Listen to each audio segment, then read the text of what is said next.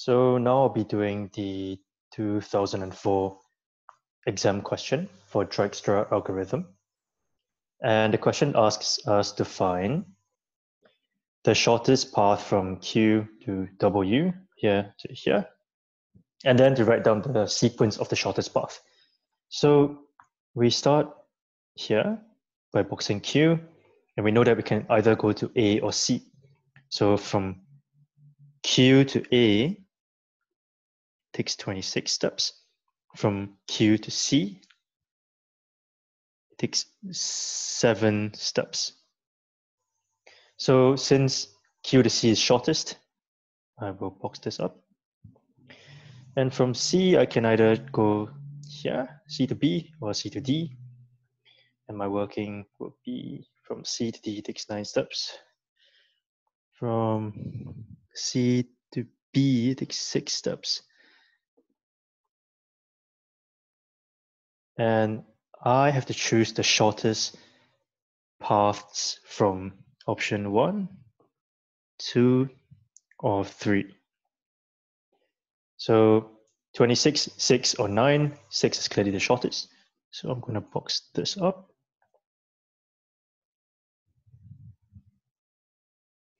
So now that I've boxed B up, I can either travel to A or to E. So if I were to travel to A, from B, it would take me nine steps. Traveling from B to E takes eight steps. So what are my options? Oh, also 26 is much larger than 9, so it's not optimal, so I strike that off. What are my options? I have one, two, three, and 4 here. Don't forget that. I will choose 8 and E.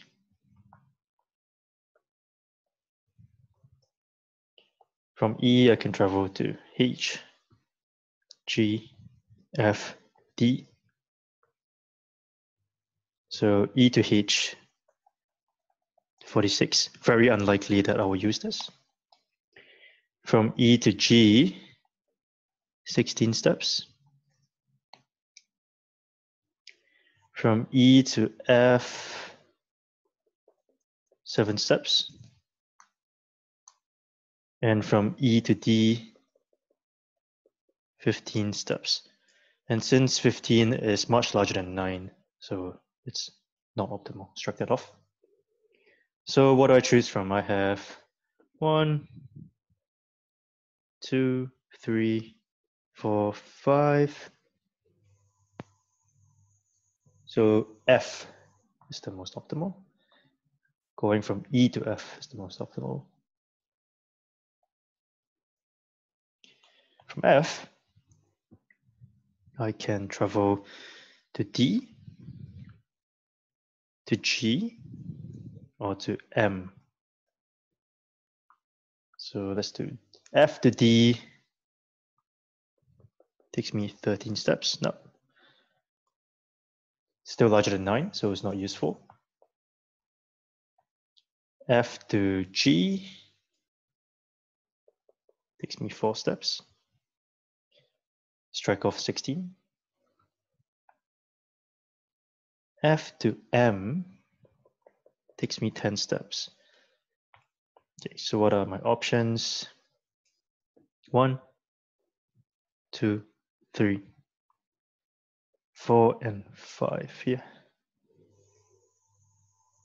So you would choose to go from F to G because it takes only four steps, which is the shortest of the five options.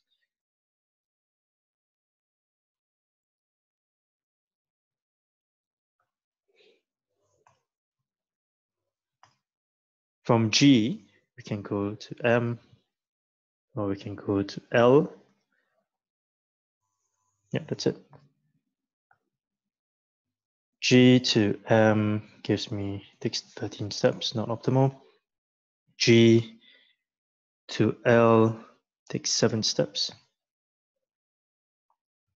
I can choose from one, two, three, four, five. So I'll choose G to L because seven is the smallest number of the five options. Choose this.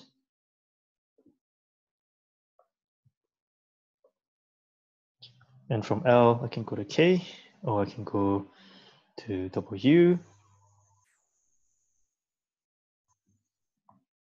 L to K takes 13 steps, and L to W takes seven steps. I choose from one, two, three, four, five, and technically we have six here. So which one gives me the most optimal or shortest path?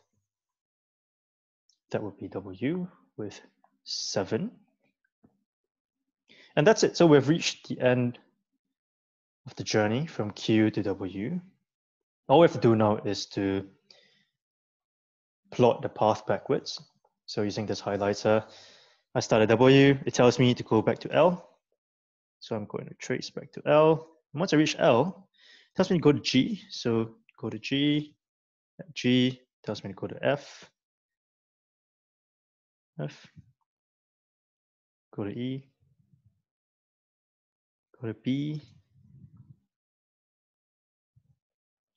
And at B tells me to go to C. At C to Q. And that's it. So to calculate the length of the shortest path.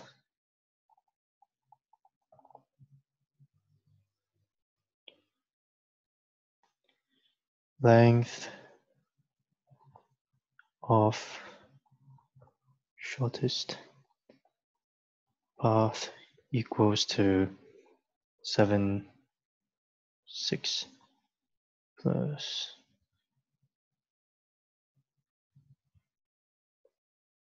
plus 4 plus 7 plus 7.